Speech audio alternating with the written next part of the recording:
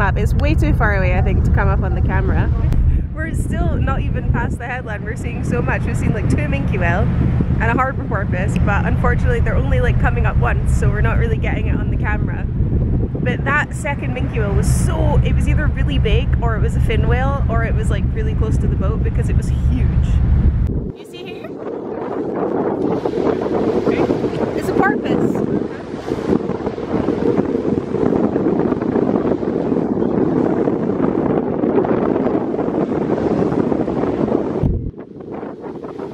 Do you see that? This is a handy little sign. So I think that, oh, whiskey. I think that the whale I saw coming out of the harbour was a sei whale because it was so big. Or it's the biggest minke whale I've ever seen in my life. Um, we also have seen some harbour porpoise. So we've seen two, I think one sei whale, one minke whale, a couple of harbour porpoise, and we saw two common dolphin, which decided that the boat was not interesting enough for them. So yeah, we've moved inside because it's uh, a little bit damp and chilly outside, so I think we're gonna sit here and Paul's gonna go get himself a sandwich. Sandwich. Sandwich. What do you spot, Captain Whiskey? What do you see? It's quite rocky. I've taken my anti-seasickness meds, but I'm having to stand up and look at the horizon as much as possible because I can feel it.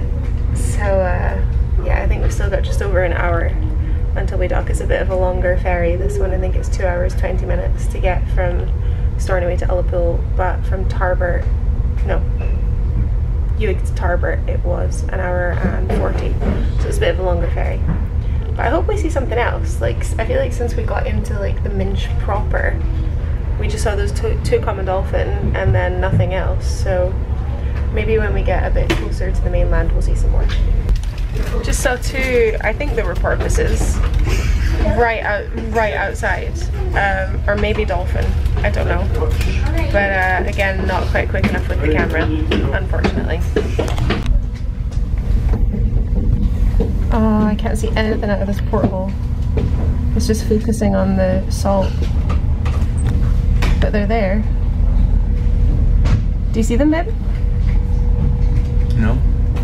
Like right, they were like right there. Oh yeah. Like my camera's literally just focusing on the salt, but yeah, I see it. I see them there.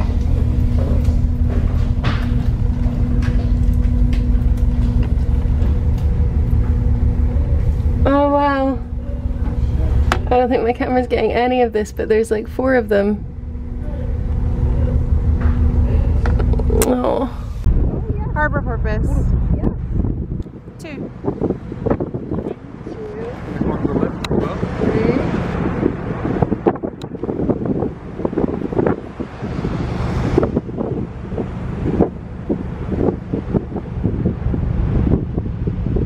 I'm so annoyed that we didn't get those common dolphin that I saw from the window. There were like four of them. They came out so far, they were so close to the boat. But yeah, my camera was just focusing on the salt on the window. And then they like crossed to the bit where you couldn't really see. If you guys could see what I saw with my eyes on this crossing, it would be a very good vlog, but I feel like I've got none of it on the camera.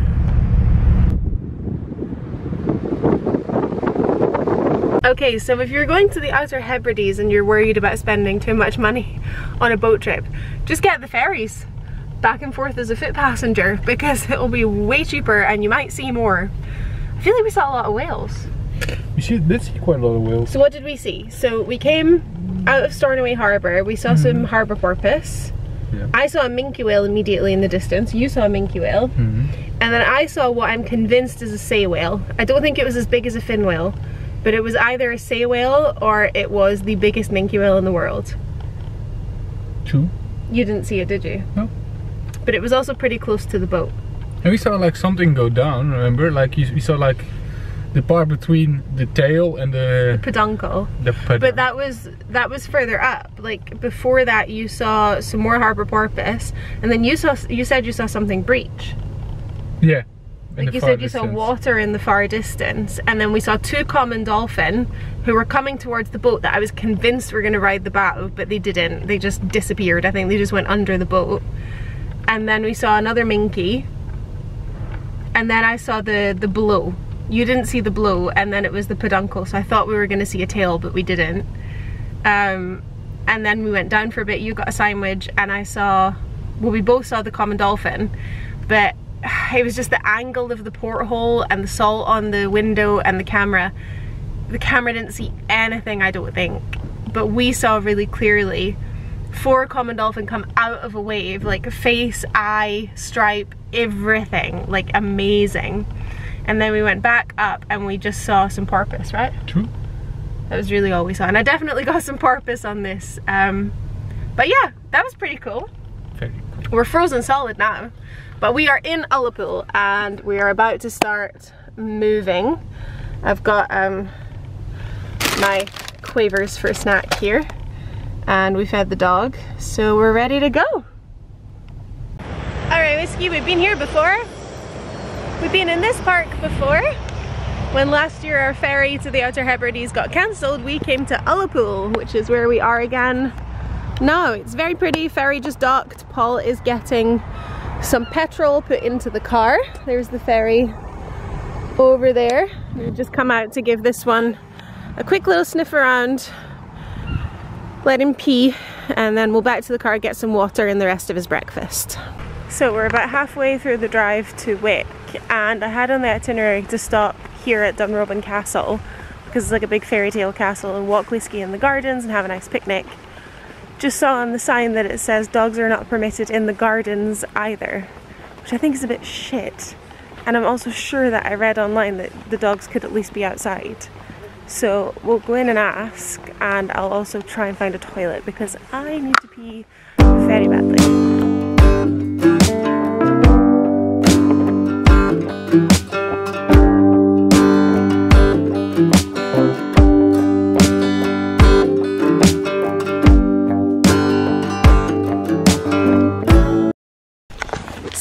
We're not allowed in the gardens or the castle, but there is a walking route that takes this path all the way around the back that we're allowed to do, so we're doing that now.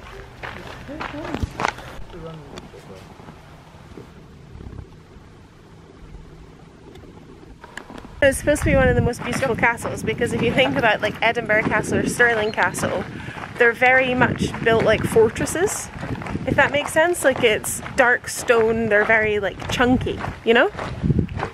Whereas this one's more like fairy tale. It looks almost French, I feel. I need to look into the history of it. It's very Beauty and the Beast. I always wonder about little cottages like this that are right beside huge castles or manor houses. Because I'm always like, who did they belong to? Was it the housekeeper? Was it like the groundskeeper's cottage? Like it was so nice. Lovely roses over it and everything. And it brings you right out here at the at the coast. Shall we sit on Mary and Bob's thank you seat? We can't really see the castle, but yeah, let's sit. No, let's sit on the bench. No, the bench will be nicer, and then we can see the castle after. No? Sure. Yeah, you want to have lunch? I'm starving. Me too. Been up since five, four, four thirty.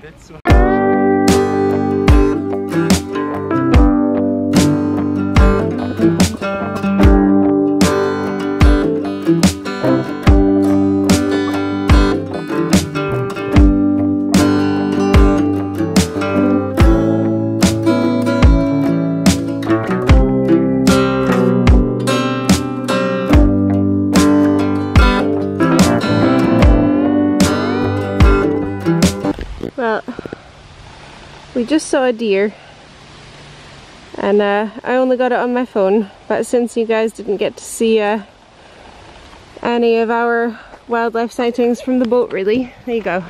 So, what did you think of Dunrobin Castle? it was very pretty. It was very pretty. And honestly, I don't think we really missed out on like seeing the castle from not being in the gardens. Like I think we got quite a good view of the castle. Mm-hmm. It would have been nice to go into the castle and also the gardens as well. And I've heard that they do a really nice audio tour. Like you can purchase an audio tour and it can tell you everything about it. Because I actually would like to know a little bit more about the history, wouldn't you? Yeah. like of who lives there, and because it's such a different looking castle to I like the rest it's like of Scotland. designed by a French person Yeah. or like they took ID from a French castle. Let's Google it later. Yeah, I would actually really like to learn a little bit more about it. But when we came out, we drove, I should have filmed it, but we drove through the village. I think it was called Brosta, something like that. And we were both just talking about it in the car, like, oh, imagine what it would have been like, you know, leaving the castle and then going, this was the village they would have gone through because obviously it's all shops and businesses and stuff now, but it would have been houses, I assume. Um, but they're all like the old brick, the old stone, the exposed stonework. And then you drive a little bit more and then there's the church and then there's like the old school which now isn't being used. And it's just funny to think like hundreds of years ago how people would have lived in those buildings and what their lives would have looked like. Peasants visiting you alright there love? Yeah, I'm just joking. you okay? Yeah. just water I don't know where the water is actually I think we drank it all No, it's fine. I'll just die. I think we offered all I think there's some in your thing Oh yeah, thank you. Yeah. And it's raining now. Amazing. So just in time uh, for Paul to head to the beach to metal detect. It is raining. We made it to the top of the world. Not quite the top of the world. We made it to the top of Scotland. Hence why it's so bloody windy. Don't know if you can hear me. We are almost at John O'Groats. Is just that way. And over there is Orkney. And here is where we're staying. We're staying in, technically it's the Crofter Snugs. They have these two little pods, but we are staying in the Shepherd's Hut, which Paul is very excited about because he gets to build his own fire. So there is a little fire pit for outdoor firing enjoyment and uh, you can also cook out here apparently they said they have this again this is the second B&B obviously the one in Lewis had it as well if you watch those vlogs. A little dog run and this one is significantly bigger. Um, and again it's just to keep dogs and everything away from the livestock. So we can just head in this little gate and we can let Whiskey run around here which I think he's really going to enjoy. And this is the shepherd's hut. So you can see the chimney. We have a wood-fired stove which is in there. Uh, so we might actually cook some pizzas. And I'm going to take you in and just let you have a little look and see what it's like so we've got the welcome on the stairs here we go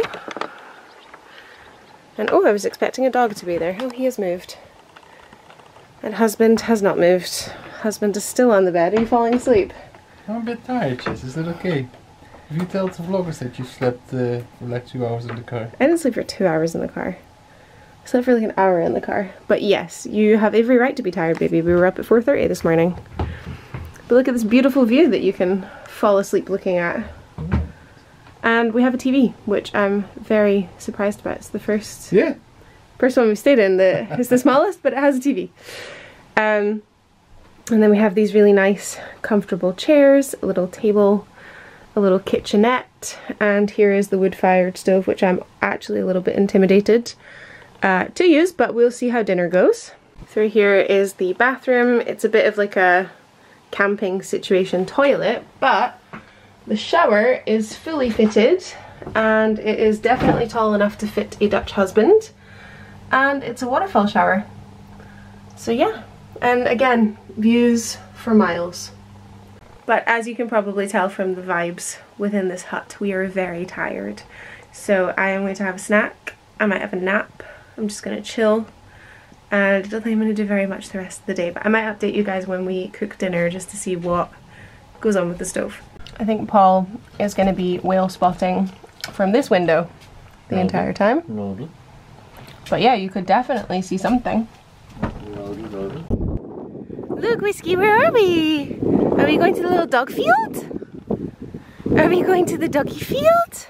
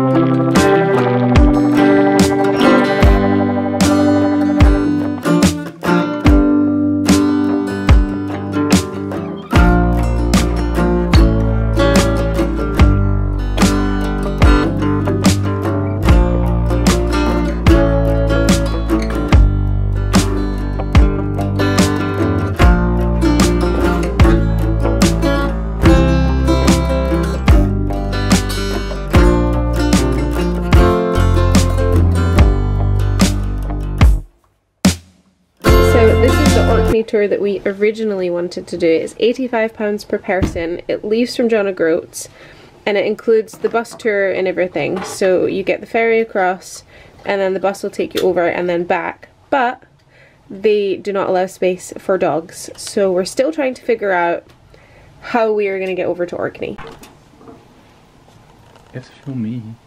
Look, you can see the gauge go up a little bit.